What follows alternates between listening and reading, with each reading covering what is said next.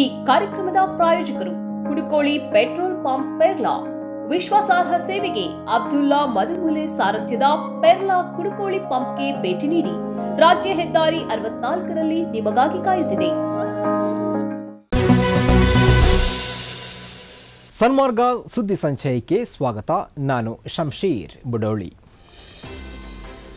Hubballi Dharwad central ಕ್ಷೇತ್ರದಲ್ಲಿ ಹೊಸಬರಿಗೆ ಅವಕಾಶ ನೀಡಬೇಕೆಂದು ಅಮಿತ್ ಶಾ ಹಾಗೂ ಪ್ರಧಾನಿ ನರೇಂದ್ರ ಮೋದಿ ಅವರ ಮಟ್ಟದಲ್ಲಿ ನಿರ್ಧಾರವಾಗಿದೆ ಎಂದು ಕೇಂದ್ರ ಸಚಿವ ಪ್ರಹ್ಲಾದ್ ಜೋಶಿ ಹೇಳಿದ್ದಾರೆ.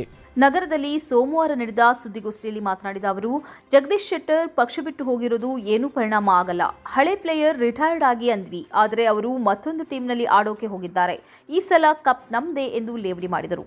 ಲಿಂಗಾಯತ ಮುಖ್ಯಮಂತ್ರಿ ಬಗ್ಗೆ ಮಾತನಾಡಿ, ಕಾಂಗ್ರೆಸ್ ಹಾಗೂ ರಾಹುಲ್ ಗಾಂಧಿ ಅವರಿಗೆ ಪ್ರೀತಿ ಇದ್ದರೆ ಲಿಂಗಾಯತ ಶಾಸಕನನ್ನ ಮುಖ್ಯಮಂತ್ರಿ ಮಾಡುತ್ತೇವೆ ಎಂದು ಹೇಳಲಿ, ನೋಡೋಣ ಎಂದು ಸವಾಲು ಹಾಕಿದರು. ವಿನೇಶ್ ಫೋಗಟ್ ಹಾಗೂ ಇತರ ಏಳು ಕುಸ್ತಿಪಟುಗಳು ಭಾರತದ ಕುಸ್ತಿ ಒಕ್ಕೂಟದ ಅಧ್ಯಕ್ಷ ಹಾಗೂ ಬಿಜೆಪಿ ಸಂಸದ ಬ್ರಿಜ್ ಭೂಷಣ್ ಸಿಂಗ್ ವಿರುದ್ಧ ಎಫ್ಐಆರ್ ದಾಖಲಿಸಲು ಸುಪ್ರೀಂ ಕೋರ್ಟಿಗೆ ಅರ್ಜಿ ಸಲ್ಲಿಸಿದ್ದಾರೆ. ಬಿಜೆಪಿ ನಾಯಕ ಭೂಷಣ್ ವಿರುದ್ಧ ಕ್ರಮಕ್ಕೆ ಆಗ್ರಹಿಸಿ ಮೂರು ತಿಂಗಳಿನಿಂದ ಹೋರಾಟ ನಡೆಸಲಾಗುತ್ತಿದೆ ಬ್ರಿಜ್ ಭೂಷಣ್ ಶರಣ್ ಸಿಂಗ್ ಹಲವಾರು ಮಹಿಳಾ ಅಥ್ಲೀಟ್ಗಳಿಗೆ ಲೈಂಗಿಕ ಕಿರುಕುಳ ನೀಡಿದ್ದಾರೆ ಎಂದು ಆರೋಪಿಸಿ ಭಾರತದ ಅಗ್ರ ಕುಸ್ತಿಪಟುಗಳು ದಿಲ್ಲಿಯ ಜಂತರ್ ಮಂತರ್ನಲ್ಲಿ ತಮ್ಮ ಪ್ರತಿಭಟನೆಯನ್ನು ಪುನರಾರಂಭಿಸಿದ್ದಾರೆ. ಆರೋಪದ ಕುರಿತು ಸಮಿತಿಯು ತನಿಖೆ ಮಾಡುತ್ತದೆ ಎಂದು ಭರವಸೆ ನೀಡಿದ ಅನಂತರ ಈ ವರ್ಷದ ಆರಂಭದಲ್ಲಿ ತಮ್ಮ ಪ್ರತಿಭಟನೆಯನ್ನು ಹಿಂತೆಗೆದುಕೊಂಡಿದ್ದ ಕುಸ್ತಿಪಟುಗಳು ಇದೀಗ ಬ್ರಿಜ್ ಭೂಷಣ್ ವಿರುದ್ಧ ಪೊಲೀಸರು ದೂರು ದಾಖಲಿಸುವವರೆಗೆ ಪ್ರತಿಭಟನಾ ಸ್ಥಳದಲ್ಲಿ ಇರುವುದಾಗಿ ಹೇಳಿದ್ದಾರೆ. ವಿಧಾನಸಭೆ ಚುನಾವಣೆಯಲ್ಲಿ ಮತ್ತೊಮ್ಮೆ ಕಾಂಗ್ರೆಸ್ ಟಿಕೆಟ್ ಆಕಾಂಕ್ಷಿಯಾಗಿದ್ದ ಬೆಂಗಳೂರಿನ ಪುಲಿಕೇಶಿ ನಗರದ ಹಾಲಿ ಶಾಸಕ ಅಖಂಡ ಶ್ರೀನಿವಾಸ ಮೂರ್ತಿ ಕಾಂಗ್ರೆಸ್ ತೊರೆದು ಬಿಎಸ್ಪಿ ಸೇರ್ಪಡೆಯಾಗಿದ್ದಾರೆ.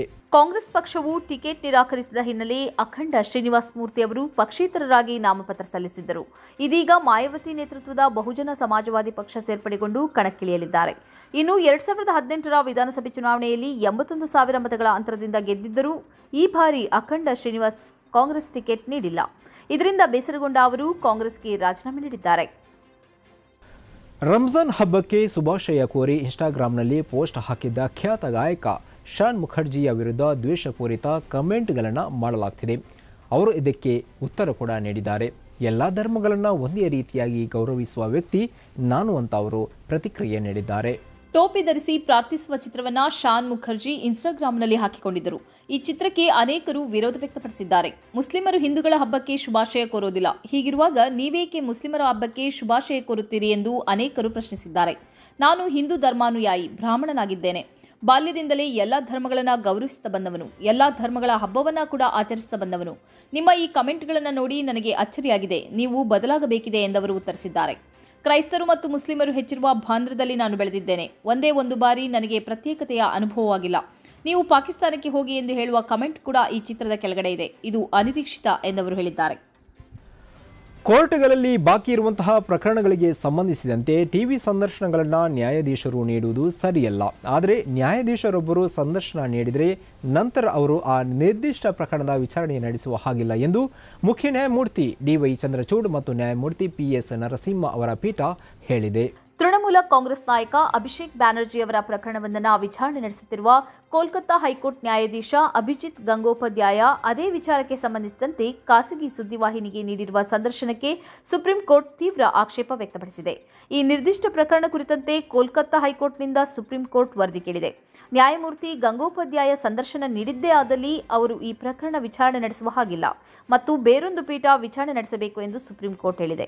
ಪಶ್ಚಿಮ ಬಂಗಾಳದ ಸರ್ಕಾರಿ ಶಾಲೆಗಳಲ್ಲಿ ಶಿಕ್ಷಕರ ಮತ್ತು ಶಿಕ್ಷಕೇತರರ ನೇಮಕಾತಿಗೆ ಸಂಬಂಧಿಸಿದ ಅವ್ಯವಹಾರಗಳಲ್ಲಿ ಬ್ಯಾನರ್ಜಿಯ ಪಾತ್ರವಿದೆ ಎಂಬ ಆರೋಪ ಕುರಿತಂತೆ ಕೇಂದ್ರೀಯ ಏಜೆನ್ಸಿಗಳಿಂದ ತನಿಖೆಗೆ ಆದೇಶಿಸಿ ಏಪ್ರಿಲ್ ಹದಿಮೂರರಂದು ಕೋಲ್ಕತ್ತಾ ಹೈಕೋರ್ಟ್ ಹೊರಡಿಸಿದ್ದ ಆದೇಶಕ್ಕೆ ಸುಪ್ರೀಂ ಕೋರ್ಟ್ ಇದಾಗಲೇ ತಡೆಯಾಜ್ಞೆ ವಿಧಿಸಿದೆ. ತನಿಖೆಗೆ ಆದೇಶಿಸಿ ತೀರ್ಪು ನೀಡಿದ ಜಸ್ಟಿಸ್ ಗಂಗೋಪಾಧ್ಯಾಯ ಕಳೆದ ಸೆಪ್ಟೆಂಬರ್ನಲ್ಲಿ ಸುದ್ದಿವಾಹಿನಿಗೆ ನೀಡಿದ್ದ ಸಂದರ್ಶನದಲ್ಲಿ ತಮಗೆ ಅಭಿಷೇಕ್ ಬ್ಯಾನರ್ಜಿ ಮೇಲಿದ್ದ ಅಸಮಾಧಾನವನ್ನು ಹೊರಹಾಕಿದ್ದರು. ನಾನು ಅಧ್ಯಯನದ ಮೂಲಕ ಧರ್ಮವನ್ನು ಬದಲಿಸಿಕೊಂಡಿದ್ದೀನಿ, ಆದರೆ ಕೆಲವರು ಸುಳ್ಳು ಸುದ್ದಿಗಳನ್ನು ಹಂಚುವ ಮೂಲಕ ದ್ವೇಷ ಹರಡೋಕ್ಕೆ ಯತ್ನ ಮಾಡ್ತಿದ್ದಾರೆ ಎಂದು ಕೇರಳ ರಾಜ್ಯದ ಅಧೀರ ಮೋಹನ್ ಹೇಳಿದ್ದಾರೆ. ಅವರ ಹೊಸ ಹೆಸರು ಆಯಿಷಾ. ಸೌದಿ ಅರೇಬಿಯಾದ ಜಿದ್ದಾದಲ್ಲಿ ನಡೆಸಿದ ಪತ್ರಿಕಾಗೋಷ್ಠಿಯಲ್ಲಿ ಅವರು ಈ ಹೇಳಿಕೆ ನೀಡಿದ್ದಾರೆ. ತನ್ನದು ಲವ್ ಜಿಹಾದ್ ಆಗಿದೆ ಮತ್ತು ತನ್ನನ್ನು ಸಿರಿಯಾಕ್ಕೆ ಕೊಂಡು ಹೋಗಲಾಗುತ್ತದೆ ಎಂಬೆಲ್ಲ ಸುಳ್ಳುಗಳನ್ನು ಸೋಷಿಯಲ್ ಮೀಡಿಯಾದಲ್ಲಿ ಹರಡಲಾಗುತ್ತಿದೆ. ತನ್ನ ವಿರುದ್ಧ ಪತಿ, ಪೊಲೀಸ್ ಮತ್ತು ಕೇರಳದ ಮುಖ್ಯಮಂತ್ರಿಗೆ ನೀಡಿದ ದೂರು ಕೂಡ ಸುಳ್ಳಿನಿಂದ ಕುಡಿದಾಗಿದೆ ಎಂದವರು ಹೇಳಿದ್ದಾರೆ. ತನ್ನ ಗಂಡ ತನ್ನ ಮೇಲೆ ದೌರ್ಜನ್ಯ ನಡೆಸುತ್ತಿದ್ದರು. ಕೊನೆಗೆ ಹೊಟ್ಟೆ ತುಂಬಿಸುವುದಕ್ಕಾಗಿ ಸೌದಿ ಅರೇಬಿಯಾಕ್ಕೆ ಬಂದು ಪುಟ್ಟ ಕೆಲಸಕ್ಕೆ ಸೇರಿಕೊಂಡೆ. ನನಗೂ ಮತ್ತು ಗಂಡನಿಗೂ ನಡುವೆ ನಾಲ್ಕು ವರ್ಷಗಳಿಂದ ಸಹಜ ಸಂಬಂಧ ಇಲ್ಲ. ವಿವಾಹ ವಿಚ್ಛೇದನ ನೋಟಿಸ್ ಕಳುಹಿಸಿ ತುಂಬಾ ಸಮಯವಾಯಿತು ಎಂದು ಆಕೆ ಹೇಳಿದ್ದಾರೆ. ಇದೇ ವೇಳೆ ಇವರ ಧರ್ಮಾಂತರಕ್ಕೂ ನಮಗೂ ಯಾವುದೇ ಸಂಬಂಧ ಇಲ್ಲ ಎಂದು ಸೌದಿಯ ಜಿದ್ದಾದ ಅಲ್ಮಾಸ್ ಕ್ಲಿನಿಕ್ ಪತ್ರಿಕಾಗೋಷ್ಠಿಯ ಮೂಲಕ ಸ್ಪಷ್ಟಪಡಿಸಿದೆ. ಅಲ್ಮಾಸ್ ಕ್ಲಿನಿಕ್ನ ವಿರುದ್ಧ ಕೆಲವರು ಸೋಷಿಯಲ್ ಮೀಡಿಯಾದಲ್ಲಿ ಸುಳ್ಳು ಸುದ್ದಿಗಳನ್ನು ಪ್ರಚಾರ ಮಾಡುತ್ತಿರುವುದರ ಹಿನ್ನೆಲೆಯಲ್ಲಿ ಈ ಪತ್ರಿಕಾಗೋಷ್ಠಿಯನ್ನು ಕರೆಯಲಾಗಿತ್ತು. ಈದ್ ಹಬ್ಬದ ಖುಷಿಯಲ್ಲಿ ಉಡುಗೊರೆ ಸಿಕ್ಕಿದ ಪ್ಲಾಸ್ಟಿಕ್ ಪಿಸ್ತೂಲನ್ನು ಇಸ್ರೇಲ್ನ ಭದ್ರತಾ ಯೋಧರು ಮಗುವಿನ ಕೈಯಿಂದ ಕಿತ್ತು ನಾಶ ಮಾಡಿದ್ದು ಈ ಕುರಿತಾದ ವಿಡಿಯೋ ಫಿಲಿಸ್ತೀನ್ನಲ್ಲಿ ವೈರಲ್ ಆಗ್ತಿದೆ. ತನ್ನ ತಂದೆ ಮತ್ತು ಇಬ್ಬರು ಕಿರಿಯ ಸಹೋದರರ ಜೊತೆ ಈ ಒಂಬತ್ತು ವರ್ಷದ ಬಾಲಕ ಬರ್ತಿದ್ದಾಗ ಚೆಕ್ ಪಾಯಿಂಟ್ನಲ್ಲಿ ಯೋಧರು ಆತನನ್ನು ತಡೆದು ಈ ಆಟಿಕೆಯ ಪಿಸ್ತೂಲನ್ನು ನಾಶ ಮಾಡಿದ್ದಾರೆ ಎಂದು ತಿಳಿಸಲಾಗಿದೆ. ಈ ಬಗ್ಗೆ ಫೆಲಸ್ತೀನಿ ಸರ್ಕಾರ ತೀವ್ರ ಅಸಮಾಧಾನವನ್ನು ವ್ಯಕ್ತಪಡಿಸಿದೆ. ಇಸ್ರೇಲ್ ಸರ್ಕಾರ ಮನಬಂದಂತೆ ವರ್ತಿಸುತ್ತಿದೆ. ಅದು ಫೆಲಸ್ತೀನಿಯರನ್ನ ಹತ್ಯೆ ಮಾಡುತ್ತಿದೆ. ಅಲ್ಲದೆ ಪುಟ್ಟ ಮಕ್ಕಳ ಆಡುವ ಬಯಕೆಯನ್ನ ಕೂಡ ನಾಶ ಮಾಡುತ್ತಿದೆ ಎಂದು ಸರ್ಕಾರದ ವಕ್ತಾರ ಇಬ್ರಾಹಿಂ ಮೆಲ್ಡಮ್ ಹೇಳಿದ್ದಾರೆ. ಹೆಬ್ರೋನ್ನಲ್ಲಿ ಫೆಲಸ್ತೀನಿಯರ ನಡುವೆ ಅಕ್ರಮವಾಗಿ ಯಹೂದಿಯರು ವಾಸ ಮಾಡುತ್ತಿದ್ದಾರೆ. ಮಾತ್ರ ಅಲ್ಲ, ಈ ಯಹೂದಿಯರಿಗೆ ಸರ್ಕಾರ ರಕ್ಷಣೆಯನ್ನು ನೀಡುತ್ತಿದೆ. ಆ ದಾರಿಯಾಗಿ ಫೆಲಸ್ತೀನಿಯರು ಸಾಗುವಾಗ ಸೈನಿಕರು ಅತ್ಯಂತ ಕೆಟ್ಟ ಕಮೆಂಟ್ಗಳ ಮೂಲಕ ಪ್ರಚೋದಿಸುತ್ತಾರೆ ಎಂದು ಕೂಡ ವರದಿಯಾಗಿದೆ. ಇದೇ ವೇಳೆ ಅಲ್ ಶಹದ ರಸ್ತೆಯಲ್ಲಿ ಈ ಮಗು ಮತ್ತು ಹೆತ್ತವರು ವಾಸಿಸುತ್ತಿದ್ದು, ಅಲ್ಲಿ ಈದ್ ಹಬ್ಬ ಆಚರಣೆಗೆ ಅವಕಾಶ ಇಲ್ಲ ಎಂದು ಮಿಲಿಟರಿ ಅಧಿಕಾರಿಗಳು ತಿಳಿಸಿದ್ದಾರೆ. ಇದುವೇ ಈ ಹೊತ್ತಿನ ಸನ್ಮಾರ್ಗ ಸುದ್ದಿ ಸಂಚಯ. ನಿರಂತರವಾಗಿ ನೋಡ್ತಾ ಇರಿ ಸನ್ಮಾರ್ಗ ನ್ಯೂಸ್. ಸುದ್ದಿಗಳ ಸಂತೆಯಲ್ಲಿ ಸತ್ಯದ ಮೊಂಬತ್ತಿ. ಇಂತಹ ಹಲವು ಸುದ್ದಿ ಮಾಹಿತಿ ವಿಶ್ಲೇಷಣೆಗಾಗಿ ಸನ್ಮಾರ್ಗ ನ್ಯೂಸ್. ಸಬ್ಸ್ಕ್ರೈಬ್ ಮಾಡಿ. ನಿರಂತರ ನೋಟಿಫಿಕೇಶನ್ ಪಡೆಯಲು ಬೆಲ್ ಐಕಾನ್ ಒತ್ತಲು ಮರೆಯದಿರಿ.